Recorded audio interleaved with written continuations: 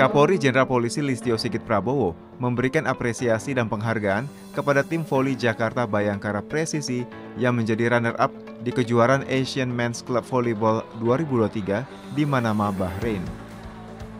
Penghargaan ini diserahkan di Gedung Rupatama Mabes Polri, Jakarta Selatan, Selasa 23 Mei 2023. Jenderal Polisi Listio Sigit Prabowo mengungkapkan rasa bangganya kepada seluruh tim voli yang mengukir prestasi di kejuaraan Asia tersebut.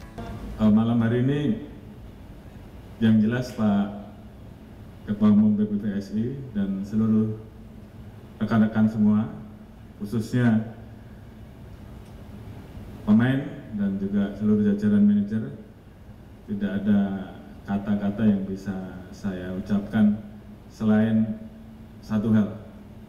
Saya bangga dengan kalian semua.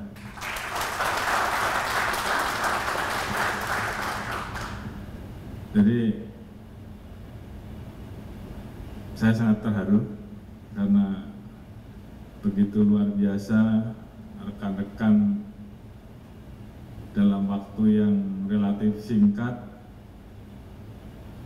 begitu sudah ditunjuk oleh Bapak Ketua Umum sementara rekan-rekan saya tahu di antara kalian baru saja selesai melaksanakan kegiatan SEA ya.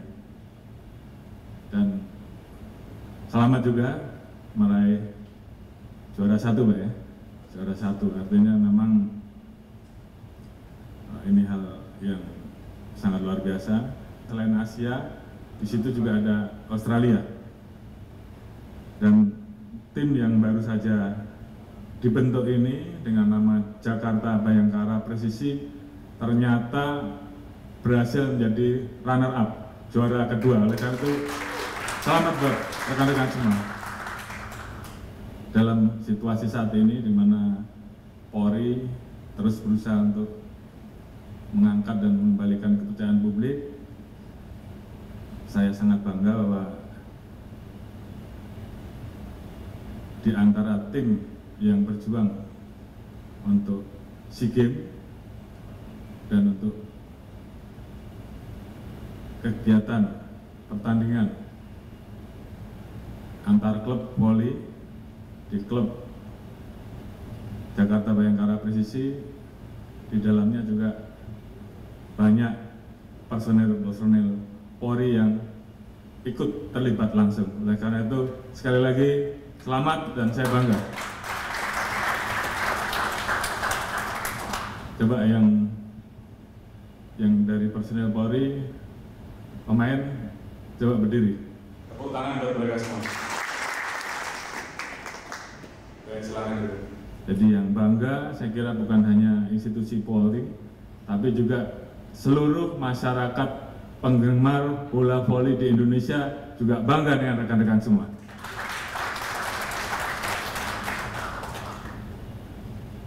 Dan saya yakin bahwa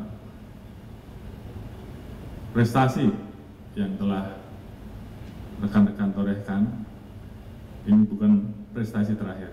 Tadi Pak Ketua Umum sampaikan masih ada tugas-tugas selanjutnya. Kita akan menghadapi kejuaraan bola dunia uh, World Speed Game, kompetisi olahraga pantai di Bali, dan kemudian juga ada kejuaraan-kejuaraan internasional yang lain, dan tentunya saya yakin bahwa rekan-rekan semua tentunya akan terus berprestasi dan kebahagiaan kita bahwa prestasi rekan-rekan ini tentunya semakin membawa nama harum institusi Polri. Jadi gimana caranya supaya ini harus bisa jadi?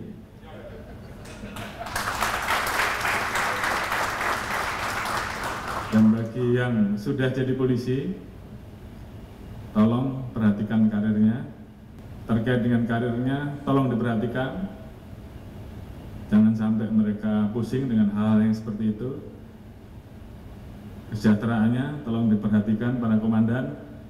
Jadi saya yakin dengan dukungan rekan-rekan semua, maka anggota-anggota kita akan berprestasi lebih baik Dan tentunya kerja keras kalian, keringat kalian, dukungan dan doa dari orang tua, dari keluarga, dan seluruh tim dan manajer serta tentunya institusi kepolisian akan membuat rekan-rekan terus bertahan untuk mencapai prestasi-prestasi berikutnya. Ada delapan personel Polri yang masuk dalam tim voli Jakarta Bayangkara Presisi. Mereka adalah Ibtu Nizar Zulfikar, Bribtu Randy Febrian Tamamilang, Bribtu Yuda Mardiansyah Putra, Bribda Henry Adenovian, Bribda Fahreza Raka Abinaya, Bribda Alvin Daniel Pratama, Bribda Friska Abriantama, dan Bribda Arjuna Mahendra. Tim Divisi Humas Polri melaporkan untuk Polri TV.